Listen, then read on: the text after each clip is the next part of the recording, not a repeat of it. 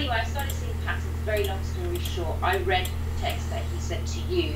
Now, he said he wanted to leave me because there was one point where he got so low with me that on my second visit, um, again, he started a tantrum. Million was my proof, Million, his friend, absolutely living proof, got nothing to lie here. And he had his has a tantrum, See, Scott McKay, goes, oh, you're fantasizing about Scott McKay. This is coming from a man who's very insecure. Yeah, just say something like that, that doesn't make you a man. Just because you suddenly uh, in two months started earning 25k a month, start thinking you're Billy Big Potatoes. Listen, my father has earned more money than he'll ever see in his life. All right, and Nick's going to go this way, he's got no real friends, doesn't know how to maintain them, and you, you work with him, and I've had to train him how to work with you, to be patient with you, to build you up, right? Right. He thinks that he's disgusting, and you know what? He talks to me like that. I'm he's demonic, witch, all of these things, and then now I call him a prostitute lover because he told me. So it's okay. Put this in perspective here, right now, Alessandro. I had to accept that that hot Hungarian girl that he had in his room, and for three weeks before I was, I flew up there. We were all coo. Can't wait to see you. Right up until I get to the airport, and I could sense something wasn't right because he wasn't responsive, and as Right. normal, normally excited. And I'm like, hey baby, can't wait. And oh, he didn't answer me, nothing. I spent, I saved up two and a half thousand dollars, yeah, to put him in that nice hotel. Uh, I did a nice video for him. I did personalised cupcakes with Good Lion on there, and loads of presents. Saved up for his, his birthday, and I flew out. I flew out to could something about his smell when I met him. Anyway, it turns out later, so then, the following morning, I was stroking his arm, and suddenly I was like, hey, hey, just have a minute, I'll do it. He flipped. He's flipped with all of these episodes. And I want to be specific now, because you're his only friend here. Yeah. You're his only friend, Alessandro. Yep. And what I want to say to you is there's a lot of people Nick is pissing off because of the, his public behaviour. Don't get up with somebody, let me just bitch about them on Instagram because I need validation of my 12,000 followers that I've got. Because Yeah. Distraught that I lost my 500,000. And, and, you know, he goes, nobody's talking about my films, nobody just, nobody gives me feedback, you don't even give me feedback. I know, I know. And I'm just like, am I going out with a boy or a man here? But he later, I said, where did you? I, I was going back to his birthday. I've flown hundreds and thousands of miles to be with him, and I want you to listen to this carefully, Alessandro. How do you think I felt then when I didn't stroke his arm properly? He stormed off into the bathroom because he's thinking about this Matherin girl because obviously he's told you I've met this hot uh, Hungarian uh, dancer and she was the hottest girl in the room and I've got so much heart for her. How's your wife if you read that? You read that? Oh no! Well, uh, she would divorce me. Uh, that's the thing. Uh, Of course, listen. When that happened, I I I wasn't happy about it. Of course, it's not my place to to scold him, but I actually what I advise him. coming, yeah? You know he stayed the night with her on his birthday. Yeah, well, I don't know much details, but what I did remember saying is that if he was to split with you, he should take some time for himself because that's, in my opinion, one shouldn't be jumping from things like that. You know, we're not 15 years old anymore, and he has his daughter to take care, take care of, a priority. So, in my opinion, he he wasn't doing the right choice then. Thank you, by the way. I've just vomited on you, Alessandro, but I'm, I'm, I'm going to have to do this and put my foot down because Nick is dangerous. I am bleeding now when I go to the toilet because he's, he's a tyrant and he's threatening me and I can't take it anymore. He's sworn at my parents. He's said the most vile things. I've got everything as proof. And you know, I have gone mad. I've hit myself because he won't stop. Seven hours I've had to deal with his torment on, on the birthday to the point where I was, can you just stop now? I'm sorry. I'm sorry I didn't stroke your arm. But that was an excuse because he knows that it would trigger me. And there was a, a plastic Evian water bottle. And I just said, what do you want me to do? And I threw it on the block. That's it, I'm going. And he left and he didn't come back that hmm. night. He lied to me and he said that he spent the um, he's, he's spending the day with he's back at Bishop, but then God's will was on my side because I saw the conversation from Mandarin. He's calling me a narcissist, doing all, and she's like, "Oh my God, well I'm so glad that you spent the night with me." And well, how do you think I would have felt? Yeah, no, And to me, absolutely. No, listen, it, it, it, it, I understand why the, the relationship has devolved into this. I, I do think that once certain uh, boundaries in, in, you know, engagements like violence is is something that for me is inconceivable. It has never happened between me and my wife, and uh, you don't know half of the story of, of, of what happened with my wife, but she was a, a victim of an illegal ring here in, in Portugal that I'm actually about to make a post about because they tried to mess with her yesterday. So, you know, uh, it's yeah, life is very complicated. Shit happens, yeah, and I think that yes, I uh, I think that Nick. Uh, he has a, a heart of gold when he is on on the on the high end.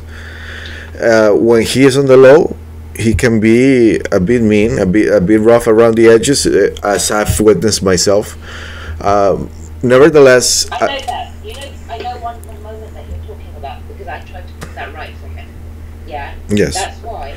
Because I know all the things you're saying. Because obviously, as a couple, you know, you you speak about mine and Nick's things, and it stays between you guys. I get that couples do talk.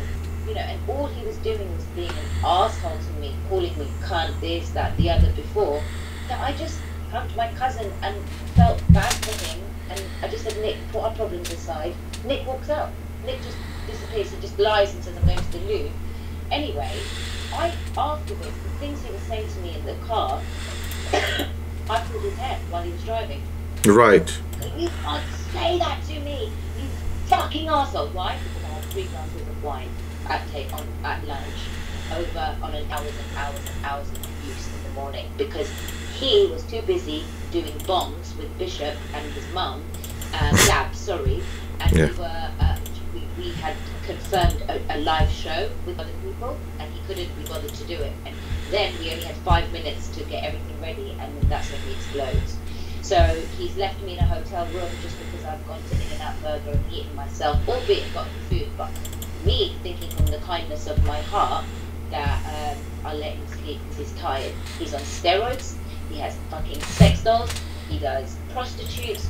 How do you think I feel when he tells me I hired a prostitute and I had I, all I could do was massage her?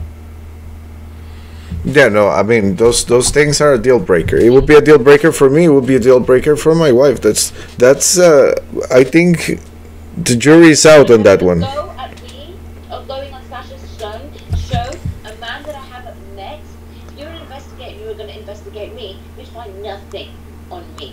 Me, Alessandro.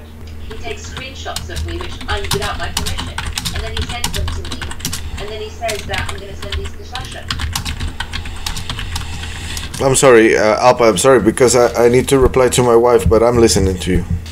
I'm No, no, listening no, to you. worry, Yes. Don't worry. And look, you know, if you, I mean, I'm, I'm, I'm saying this to you, even that you may tell Nick that I phoned you. I'm not scared anymore. No, no, no. I mean, listen. What what I think is, and and that this is something that you know is is for the betterment of you both. I I think that perhaps, obviously, as you tell me things, if you really think these things about Nick, it's obviously you know at this point.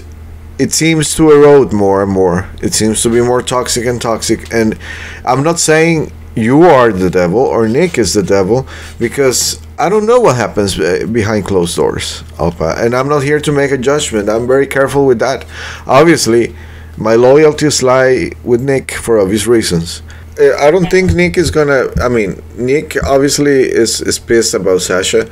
He doesn't know nothing about what uh, uh, the evidence that, that is out there on Sasha because he hasn't taken the time to look at at at the podcasts I did about it. But regardless of that, he's not gonna come after you, all. But That's not what this is about. Uh, I'm not gonna come after you. Nobody's gonna come after you.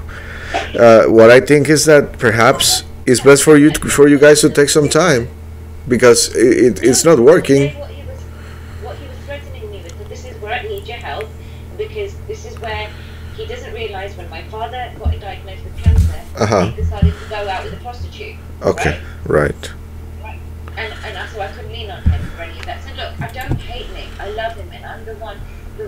That, you know, um, he's he's suffering a lot.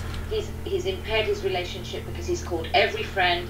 every woman a cunt, a whore, a slut, a slag, his mum, everybody. Then none of them hate him because of Trump. He didn't get sacked because of Trump. He traumatized a woman there.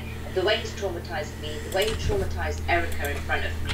Because when he doesn't get his way, he explodes and he thinks it's okay to just call you every single name under the sun. He can be very kind, very generous, but there's another side of the coin that yes, uh, I can understand to some degree, and for Nick it will come.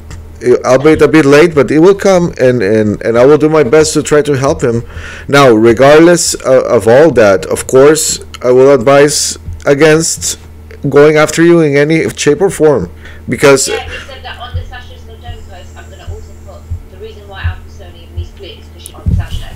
That's too petty. That's something that listen. Not even you could argue. I, I would advise against it. The whole thing on basic principle is wrong. put my naked pictures online. Oh, but but that's that's different. That's criminal. Now that's if you have evidence about him threatening you with that, I suggest you keep it because if that happens, then you have the evidence, right? Yes.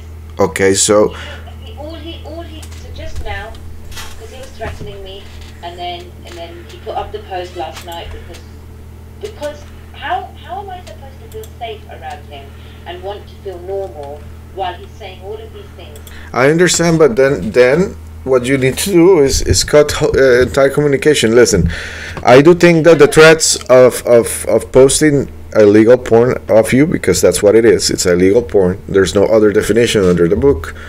It's prosecutable by law. Uh, it's it's a bluff. It's something say setting a spite because obviously that will that will suicide his that would nuke his his reputation. That would destroy everything. So even outside of the honor boundaries, which is something that he, he should abide to, and I, and I hope he will, mainly because of that reason. I don't think that's gonna happen, Alpa.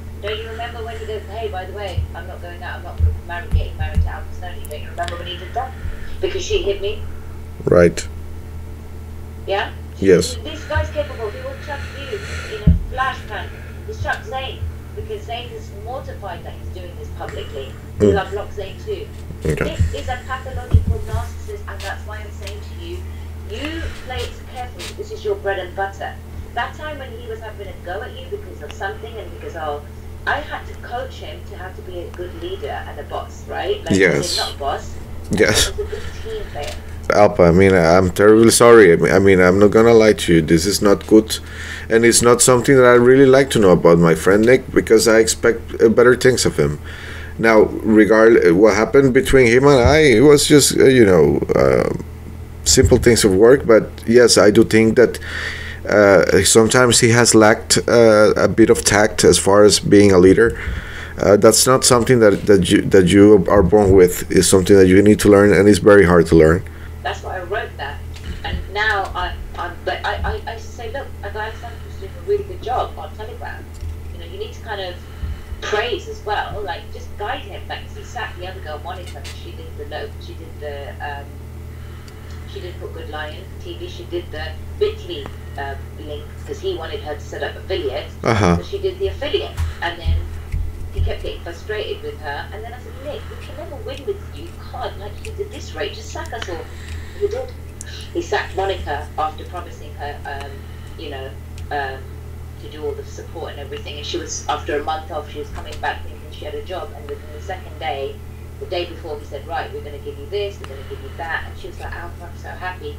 To a fight between him and me, he sacked her.